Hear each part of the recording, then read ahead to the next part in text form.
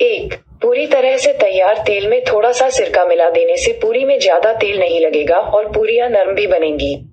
दो, अगर आलू के चिप्स को स्टोव करते समय उसमें पिसी हुई लाल मिर्च और नीम की मिठाइयाँ रख दी जाए तो उसमें गंध नहीं आएगी। तीन, यदि ड्राई फ्रूट या मेवे आदि को आसानी से खाया जाना है तो उन्हें एक घंटे के लिए फ्रिज में रख दे चार। दिन भर चाय बनाने के बाद उसकी पत्ती को धो छान कर पौधों के गमले में डालें। यह एक बेहतरीन खाद का काम करता है।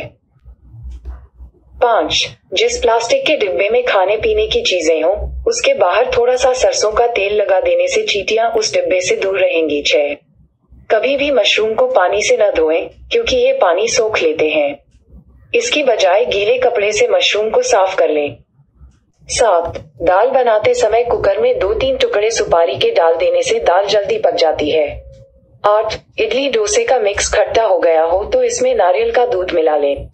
खट्टापन निकल जाएगा। नौ यदि ऐसा लगे कि दूध फट सकता है तो दूध में आधा चम्मच खाने का सोडा व थोड़ा सा पानी मिलाकर उबाल लें। दूध फटेगा नहीं।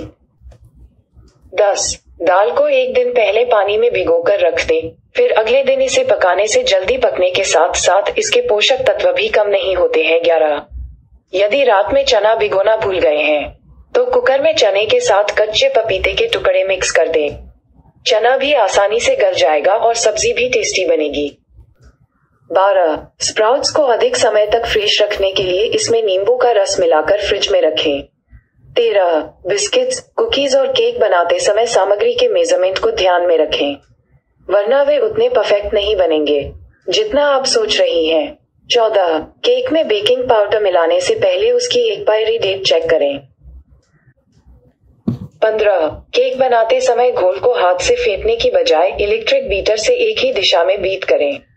सोलह। लौकी का कोफ्ता या हलवा बनाने के लिए इसे कद्दूकस करने के बाद जो पानी निकले उससे आटा गूंद लें। इससे पराठे ना सिर्फ़ सॉफ्ट और टेस्टी बनेंगे, बल्कि हेल्दी भी। मुझे उम्मीद है कि आज के कुकिंग टिप्स और ट्रिक्स आपको पसंद आए होंगे, इसलिए कमेंट लाइक शेयर और सब्सक्राइब करना न भूलें और स्वस्थ रहें। खुश रहें।